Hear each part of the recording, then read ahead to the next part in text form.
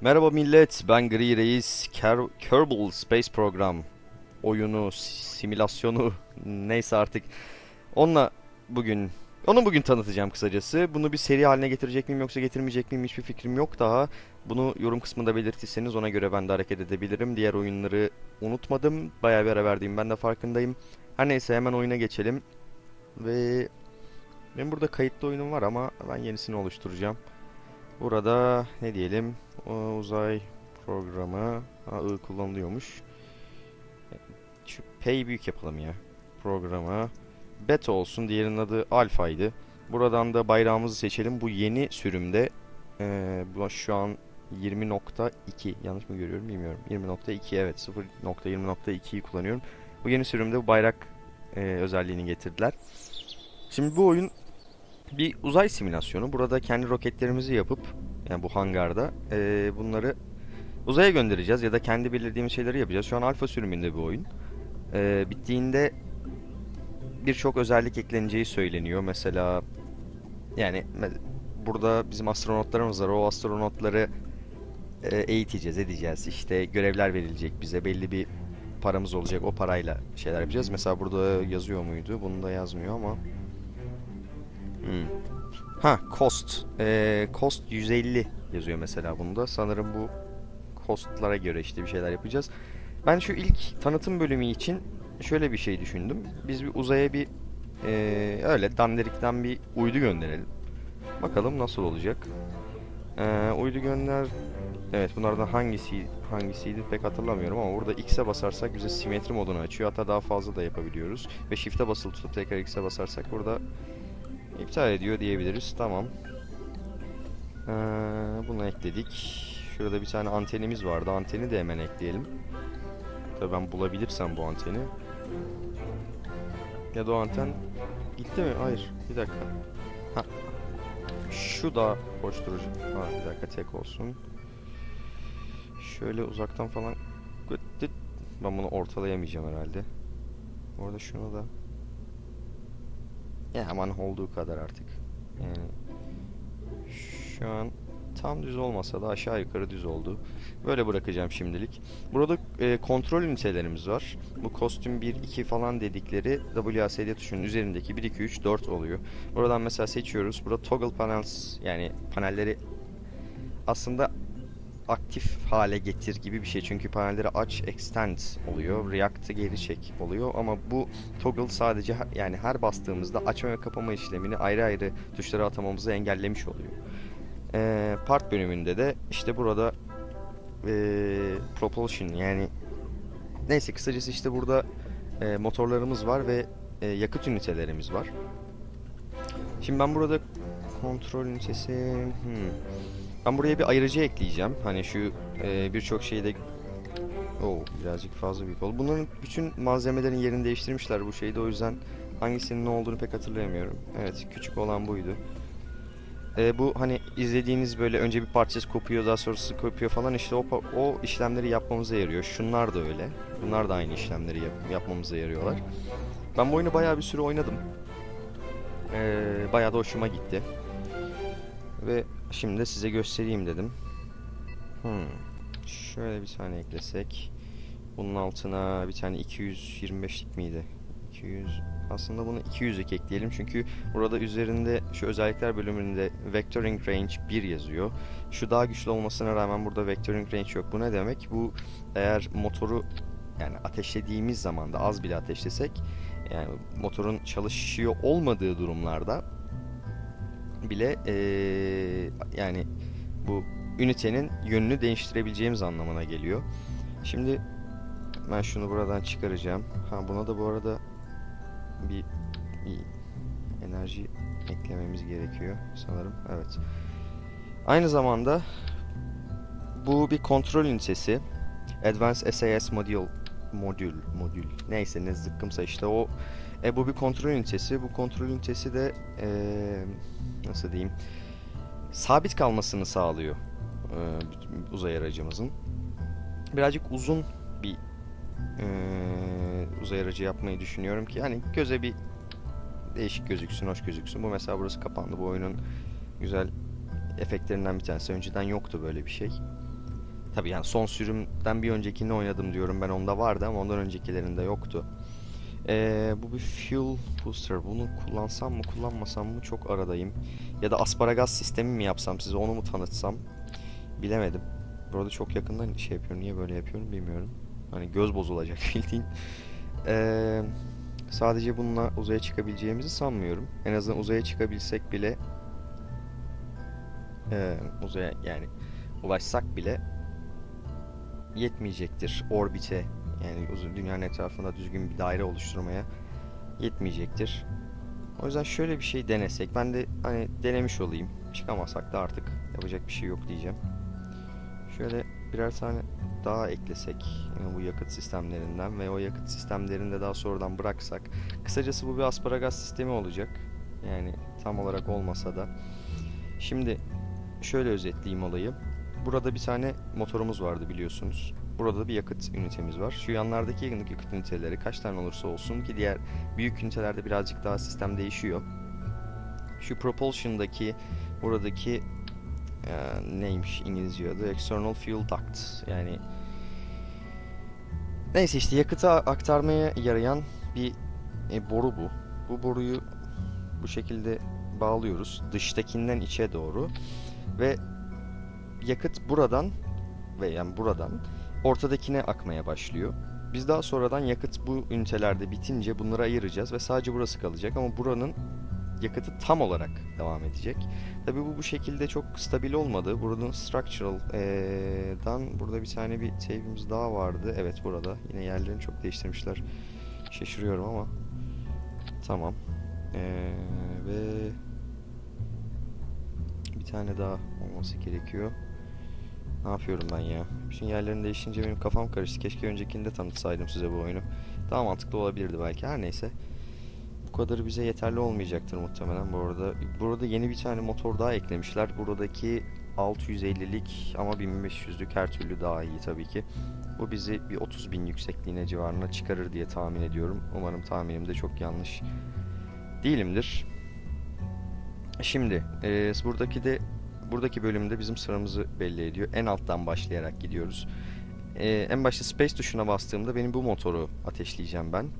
Daha sonradan tekrar space tuşuna bastığımda tabii ki bu mesela yanlış olmuş. Bunu şuraya şey yapalım. Bu kopacak, gidecek ve benim buradaki motorum ateşlenmeye devam edecek. Daha sonradan şuradaki iki yakıt tankı e, üniteden ünitelere ayrılacak ve ben bütün işlemleri gerçekleştirdikten sonra en son bu uydumuzu serbest bırakabileceğiz. Tabi bu benim uzaya çıkmama muhtemelen yetmeyecek ama bakalım artık yani şans diyorum. Ona da bir isim verelim. Diyelim ki buna dandik deneme 1 yok. E tamam 2 olsun hadi. Amerikalılar Trabzon'da mıydı? Neydi? Karadeniz'de. Ha pardon. Öyle bir onun ikisini çekmişler direkt. Biz de aynı mantıkta bir salakça bir hareket yapalım. Ve burada şunu da bir tutturalım ki hani birazcık daha stabil hale getirmeye çalışalım.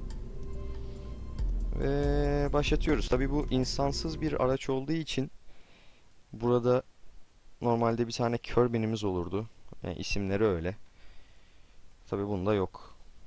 Ee, bu oyunun birkaç e, tree Oo, çok yavaş hareket etmeye başladı. Bu bizim uzaya çıkmamızı yetmeyecek. Ve direkt olarak dönmeye mi başladık? Niye bu yamuk duruyor? Bu bizim navigasyon topumuz. Bu ee, yani tek yönlü bir şey değil. Bunda kaç yön var? Galiba 4 yön mü var? 6 yön var herhalde. Yani birazcık nasıl diyeyim buna alışmak zorluyor. Çünkü ee, WASD ve yani daha sonra Q, E, W vesaire işte bunlarla oynuyoruz. Bu 6 tuşları tuşu kullanarak e, yönetiyoruz. E, bu yönetmeyi yaparken navigasyon topu ve bizim uzay aracımız farklı yönlere gidebiliyor kamera açısına bağlı olarak. Bu çok şaşırtıyor. O yüzden navigasyon topunu kullanmak çok daha mantıklı. 30 bin civarına geldiğimde yükseklik olarak e, yer çekimi dönüşünü gerçekleştireceğim. Yani e, 45 derecelik bir açı yapacağım. Bakalım ama 30 bine ulaşabilecek miyim? Çünkü yakıtım burada bayağı bir azaldı. Yani geri kalanları yetmeyecek ama bu size bir göstermelik bir şey oldu. Normalde asparagas sistemini yapardım ama bu videoyu olabildiğince kısa tutmaya çalışıyorum. Çünkü internetim çok yavaş ve şu an yapacak hala çok işim var. O yüzden eee, kısa olsun diye çabuk yaptım. Çabuk yapınca da ya, elime yüzüme bulaştırdım. Ama olduğu kadar diyelim artık. E, grafik konusunda çok mükemmel değil. Ama kötü olduğunu da söyleyemem. Kişisel görüşüm bu tabii ki. Ve Space'e bastık. Hemen ateşlemeye başladı ama birazcık yamulduk. Çok problem değil. Ee, birazcık rotadan sapmış olabiliriz ve dönüşü gerçekleştiriyorum. 30 bine gelmişiz. Evet bakalım. Bunlar yetecek mi? Evet buradan harcanıyor görmüş olduğunuz gibi. Buradan harcanmıyor. Sağ tıklayarak burada bilgilere bakabiliyoruz. Liquid Fuel ve Oxidizer'ımız var. Önce buralardan harcandığı için şu an aslında iyi bir durumdayız. Bu bizi nereye kadar götürür? M tuşuna basarak e, dış görünüme geçiyoruz. Burada yani tabii şimdi mahvedeceğim ama buraları gösterirken bu bizim güneş sistemimiz. Buradaki tüm isimler normalde bizim güneş sistemimizden farklı. Zaten şunu da fark edeceksinizdir. Dünyaya, dünya çevresinde bir Moon var. Yani daha farklı yazılımını yapmışlar. Bir de Minmus diye bir tane daha koymuşlar ki hani ulaşabilelim. Birazcık daha kolay olsun diye zannediyorum ki. Burada 89 bin yanlış hatırlamıyorsam 75 bin civarında atmosferi geçmiş oluyorduk. Ben bunu 120 bin civarına çıkarmak istiyorum. İlk hedefim bu. 120 bine geldikten sonra eee motorları gücünü tamamen keseceğim. Ve tam bu noktada Apoapsis bizim eee, dönmekte olduğumuz yörüngedeki en uç nokta diyebilirim. Yani buradan eee, orbiti tamamlamaya çalışacağım. Hatta daha gelmeden önce 120 bin neredeyse oldu. Tamam. Şu an X'e basarak motorları kestim. Eee, nokta ve virgül tuşları burada hızlı hızlandırmamıza yarıyor. Hani çünkü saatlerce beklerseniz yani gidebileceğiniz uzaklıklar ay veya şeyle sınırlı değil. Çok fazla yer var. Hatta güneşe bile çakılma ihtimaliniz var eğer istiyorsanız tabii ki. O yüzden birazcık başlatalım burada. Çünkü geldik sayılır. Ve burayı bir sabitlersek bu 7 saniye kaldığını gösteriyor. Buraya geçmemek çok önemli. Ben burada çoğu kişinin kullanmadığı bir e, mantık kullanıyorum. Bunu birazcık daha yukarı doğru kaldırıp işte, işte burada sola gözüküyor. O yüzden zaten navigasyonu değişik demiştim. Bunu eşit tutmaya çalışıyorum. Bu birazcık manuel bir yöntem. Çok mantıklı bir yöntem olduğunu da sanmıyorum. Ama işe yarıyor bende. Tabii bu orbiti yetecek diye umuyorum. Orbiti tamamlamamıza. Eksi 1 saniye, eksi 2 saniye gitgide arttığına göre birazcık daha sağ yani eee, yönümüzü birazcık daha düzleştiriyoruz. 5 saniye hala artıyor. O zaman birazcık daha düzleştirelim. Ve yörüngeden çok azıcık kaydık. T tuşuna basarak SAS modülünü açıyoruz. Bu sayede eee, istediğimiz yerde durma ihtimal, eee, durma şansına sahip oluyoruz. Bu orbiti herhalde yapabileceğiz gibime geliyor. Gitgide arttığı için ben yine durduruyorum.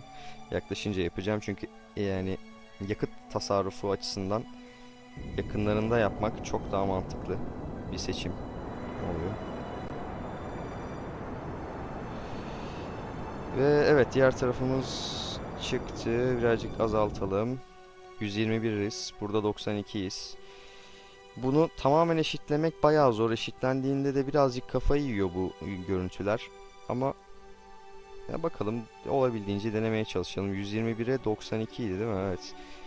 Ve çok azıcık verelim. Buranın ne kadar çok ne kadar hızlı arttığını farkındasınızdır. Çok azıcık verdim burada gücü.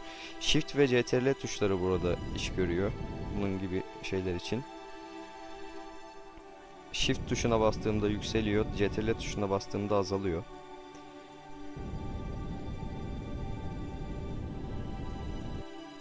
Ve titremeye başladığına göre aşağı yukarı eşitiz. Evet 118'e 121 olduk.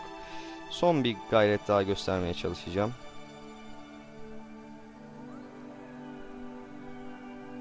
Ve burada da SAS modülümüzü şey yapalım. 119 olduk. İşte saçmalıyor dediğim buydu. 120 121. Çok azıcık daha gidelim. Ve birazcık geçtim galiba. 121'i 121 418'e 121 514 neredeyse mükemmel bir daire oldu bu dünyanın etrafında. Şimdi yapmam gereken şey, ya tabii bu görünümden yapmak zorunda değildim ben. Buraya bakarak da yapabilirdim. O bu burası hala bitmemiş. Yani ben yakıt ünitesinin bizi götüreceğine emin değildim. Burası hala bitmemiş. En azından göstermelik bunu şey yapayım, göstermek için. Space'a bastığımda burası ayrılacak tabii hiçbir buradan güç uygulamadığım için aynı hızda devam edeceğiz ve burada bir patlama yaşayabiliriz. Artık yani göstermek açısından basıyorum. 3, 2, 1, bum. Çok azıcık bir güç verelim ki yakınlarından uzaklaşalım. Bunlar dönmeye devam edecektir. Ee, bunları durdurmanın yolunda Ü ve yumuşak Y yakınlardaki parçalar arasında e, geçiş sağlıyor. Burada End Flight'a basarsanız korkmayın. Ee, burada tekrar Tracking Station'a tıklarız. Burada End, e, end Flight deyip. Sonra dandik denemeyi daha deminki aracımıza tıkladığımızda hala kaldığımız yerden devam ederiz. Gerçi müzik değişti olsun. Bunu niye yapıyorum? M tuşuna bastığımda Aa bu sürümde böyle bir şey olmuyormuş bu arada. Normalde burada bir işaret daha gözüküyordu. Bu kalan parçaları gösteren. Ve bir süre oynadıktan sonra yani bu ya dünyanın çevresi hatta bütün uzayda gidebildiğim her yerde bu parçalardan görüyor oluyorduk. Ve bunda öyle bir şey olmadı. Demek ki bunu kaldırmışlar. Yani bu arkadaki parçamız herhalde artık görünmez hale geliyor. Burada Debris adı evet Debris'ti şu an hatırladım ben de. Tekrar Space'e basalım o zaman. Şu ünitemizi de ayıralım. Hop. Ve bunu hareket ettirebiliyoruz. Bu arada şunu ben atamayı unuttum kontrol ünitelerine. Bunu toggle yapacağım sağ tıklayarak. Ve açtık. 1'e bastık. Ve bunu da açtık. Ve basit bir ee, nedense bugün konuşamıyorum. Basit uydumuz hazır. Bunu tamamen aşağı getirdiğimde bu dünyaya dönük olacak olması lazım. Ama tabii şöyle bir durum da var. Burada da resources bölümünde elektriğimiz, işte yakıtımız vesairemiz her şeyimiz gözüküyor oluyor. Ama burası çok önemli oluyor. Elektriksiz kaldığım çok durum oldu ben bu oyunu oynadığım süre boyunca. O yüzden ona dikkat etmeniz lazım. Burada şimdi bu tamamen dünyaya bakarak durmayacaktır muhtemelen. Çünkü bu belli bir şey değil. Dünyanın diğer tarafına gittiğimizde biz uzaya bakacak şekilde duruyor olacağız. Ve o noktada tam olarak burası. Yani dünyadan tam tersine bakıyoruz. Bu durumu işte gerçi zaten bir gerçekten bir şey iletmediği için çok pro problem değil. Hani bu neyde problem oluyor? İki tane bir tane uzay aracı burada oluyor mesela öyle düşünün. Başka bir uzay aracını getirip buraya o modülü buraya e, entegre ediyoruz. Orada problem yaratıyor sadece. Ee, ya onları yapmak da bayağı zor ama gerçekten çok nasıl diyeyim yani çok zevkli bir olay. Yani bunu başarabilmek harbiden harika bir duygu veriyor insana. Ve tekrar bir görünüme geçelim. Dış görünüme geçelim. Harita görünümüne. görünümüne. 124'e daha demin o modülü bıraktığımda birazcık hızlandırmıştım hatırlıyorsanız. Orada 3000'lik bir sapma olmuş. 3 kilometrelik. Fark etmez. Burada Dandik Deneme 2 adlı bir tane uydumuz var. Bu uydunun da bu arada tekrar M'ye basalım. Görünüme geçelim. Bu uydunun da burada sağ tıklayıp Rename Vessel deyip buradan prop şu an bu uydu zaten ama yani mesela istasyon bir uzay istasyonu olduğunu belirtebiliriz. Burada ismini değiştirebiliriz ve bu mesela değiştirdik. Şimdi e, harita görünümünde bunun görüntüsü de değişti. Logosu değişti. Bunun gibi şeyler yapabiliyoruz. E, oyunda birçok şey yapmak mümkün. Ay'a gitmeye çalışmak, ayın üzerinde yürüyecek bir ayaç... Ayaç nedir ya? Araç dizayn etmek. Minmus'a gitmeye çalışmak veya işin en zor taraflarından bir tanesi buradaki başka gezegenlere gitmeye çalışmak. Gerçekten çok ya yorucu olsa da başardığınızda çok mutlu edici bir olay. Ve bazı küçük mühendislik hatalarından dolayı işlerin ters gitmesine de sinirleniyorsunuz ama bir daha yapmamak için özen gösteriyorsunuz. Harbiden harika bir şey. Oyunu kesinlikle denemenizi öneririm. Şu an Steam'de 23 dolar olması lazım yanlış hatırlamıyorsam. E, olmadı en başta bir çeker bakarsınız yani artık e, o size kalmış bir olay. Ama kesinlikle deneyin derim. Ya şu görüntünün güzelliğine bakar mısınız ya? Şu yansımaların falan. Yani tamam dünyadan kalkarken görüntü o kadar güzel değildi ama şu dıştan görünüme bakar mısınız şu güzelliği? Yani burası da tamamen dünya haritası değil bu arada haberiniz olsun hani farklı bir şey yapmışlar. İşte zaten adı da Kerbin diye bir şey. Her neyse millet benden bu kadar. Ee, eğer bu seriye devam etmemi yani seriye devam etmekten kastım neler? Burada mesela iki tane aracı birleştirmek, işte değişik tasarımlarla Ay'a gitmek, Ay'a insan götürmek, tekrar bir yere gidip tekrar dünyaya güvenli bir şekilde insanları geri getirmek gibi e, görevleri yapmaya çalışacağım. Burada uçak tasarımları da var ayrıca. Uçak tasarımları e, da çok başarılı olmasam da bir şeyler yapabileceğimi aşağı yukarı düşünüyorum. E, ge- pardon. Gerçekten eğlenceli olduğunu düşünüyorum bazı şeylerin. Yani bu- burada uğraşmanın. E, izlerken zevk alır mısınız? Hiçbir fikrim yok. O yüzden zaten size soracağım. E, şu an çok fazla takipçim yok. O yüzden kim cevap verir, kim e, kale alır bilemiyorum. Belki kafama göre eğer canım isterse birkaç bölüm çekip yayınlayabilirim. E, oyuna göz atmanızı kesinlikle öneririm. E, ve her neyse ben artık e, videoyu sonlandırayım. Lütfen eğer videoyu beğendiyseniz e, aşağıda yorum yapın, videoyu beğenin, paylaşın. Herhangi bir şey, bunların her, her biri benim için çok önemli. Lütfen bu nezaketleri gösterin. E, şu ana kadar yorum yapan insanlara çok teşekkür ederim gerçekten. Çok mutlu ettiniz beni. Her neyse millet, e, ben Gri Reis. Kerbal Space Program'ı sundum size. Bir dahaki sefere görüşmek üzere.